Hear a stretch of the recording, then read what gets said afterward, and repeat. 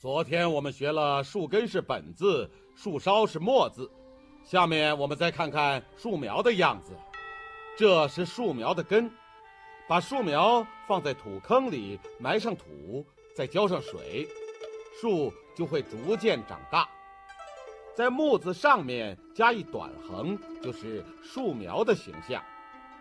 你们仔细看，这上半个字是土。下边是树苗的根的形象，土字中间的一竖又是树苗出土的形象。这个字的读音是什么？它的读音是“未”，未来的“未”。植物刚刚发芽出土以后会逐渐长大，以后就是未来，所以这个字读“未”，乌 a 未，未来的“”。未。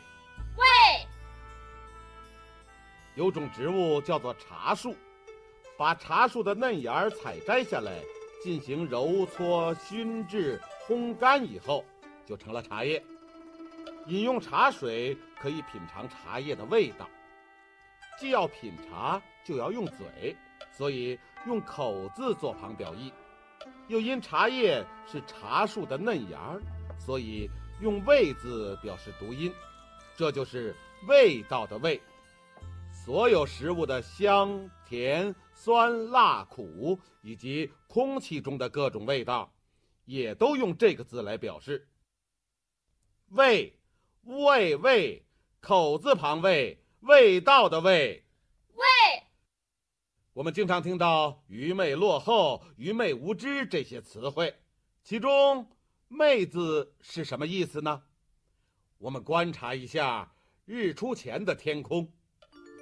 太阳出来之前，天色还是一片昏暗，这种景象被称作昧。这就是昧字。左旁的日字表示太阳，与未字组合，意思是太阳还没有出来，而且昧未韵母相同，所以未还有表示读音的作用。因为太阳未出，大地上的一切。还看得模模糊糊，很不清楚，所以这个字被引申为糊涂、不明白以及愚昧无知等意，比如蒙昧、冒昧等等。昧字还有隐瞒、隐藏的意思，像暧昧、昧着良心、拾金不昧等等。老爷爷，什么叫拾金不昧呀？嗯，拾金不昧就是捡到钱物以后如数上缴或者归还原主啊。哎，老爷爷，嗯，那要是不交出来呢？嗯，那就叫呃把别人的东西给昧起来了，这样做是不对的。你想想，失主丢了东西，心里多着急呀。昧，昧昧，愚昧、蒙昧、拾金不昧的昧昧。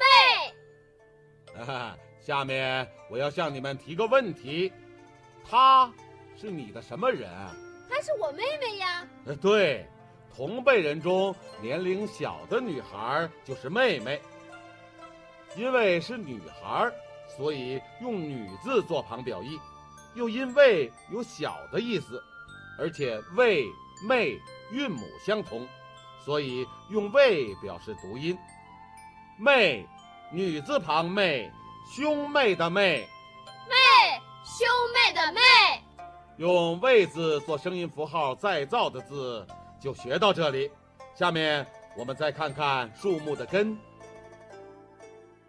本根本的本，本字还引申为社会事物的根源，比如本来、原本、本意、本应、基本、本位等等。那么。人的根本是什么呢？你们看，人的身体就是人的根本，用单立人表示人，再用本表示根基，合在一起读体，特以体，身体的体。体。在植物当中，人们对竹子有特殊的偏爱，它长得细高苗条。竹节儿圆润碧绿，它的根部异常发达，不断生出新的竹笋。用竹字头表示竹子，再用本字表示竹根，合在一起读笨。后来这个字被借作他用，成了笨重的笨。笨还表示不聪明、不灵巧，比如愚笨、嘴笨、脑子笨、笨拙、笨手笨脚等等。笨，笨笨，笨重的笨。